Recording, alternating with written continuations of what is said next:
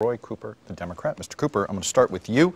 Earlier this month, you were quoted saying the state crime lab that you've overseen for more than a decade is, quote, providing excellent service, but the average processing time for a case is seven and a half months. Uh, this was called excellent service. Should voters be concerned about your management skills going into governor because we've got these wait times?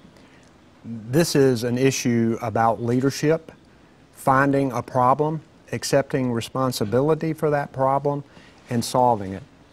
When I became Attorney General, there were over 5,000 DNA rape kits sitting on local law enforcement shelves. We also had years of shoddy investigations.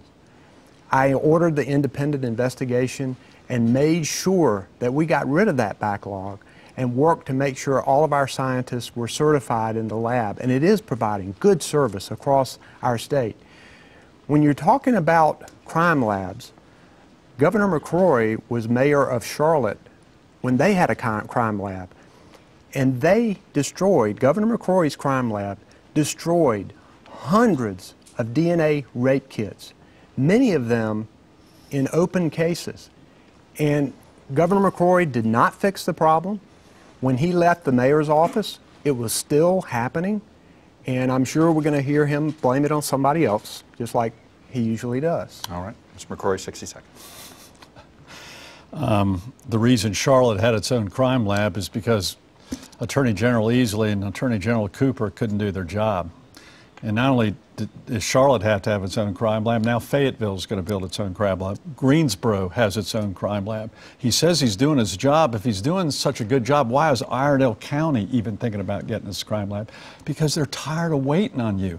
The governor's job is a huge job. I got one department with 16,000 employees, just one of the departments the governor's responsible for. If you can't handle the crime lab after 14 or 16 years, how are you going to handle all of state government?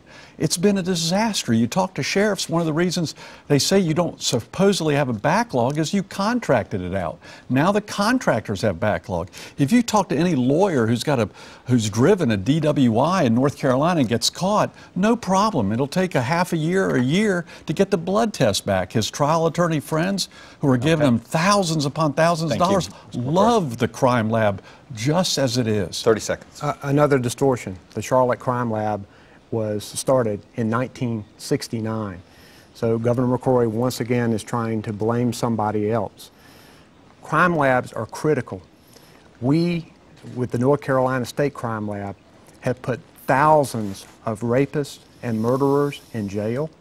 They've also helped to clear innocent people across North Carolina. They are working hard with law enforcement every single day and it is critical that we continue the funding because more and more evidence continues to come in. You got 30 seconds. I agree. It's critical that we continue the funding. And frankly, as governor, I've asked for more funding. I haven't got one email from him requesting help from the crime lab. Of course, he's only done 14 emails in 16 years as Attorney General.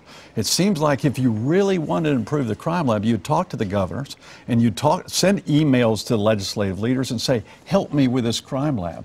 You haven't done that. There are no emails saying, we've got a problem. Help us fix it together. All right. I'm gonna, may, I, may I respond? Okay. Please? I'll give you 30 and then yeah. I'm going to give him 30 again. Uh, we met with Governor McCrory's budget director and budget team every single time before the legislature. And Governor McCrory has all of a sudden become interested in the crime lab issue during these last few months. It is critical that there be resources for the state crime lab to make sure that those crimes are solved. And Governor McCrory has not been doing his job in providing those resources. Final third. Actually, I'm, I'm the governor who got the resources for now, hopefully, a development of a Western lab because the western part of North Carolina has been just suffering because of the lack of productivity from your crime lab, which you've been responsible for. And by the way, before that, you were responsible for the SBI before it was transferred to the governor. The head of his SBI was a political appointee. It was basically a, a political hack that he hired as head of the SBI. When I took over the SBI, I put people who had actually experience in law enforcement, not making it a political organization.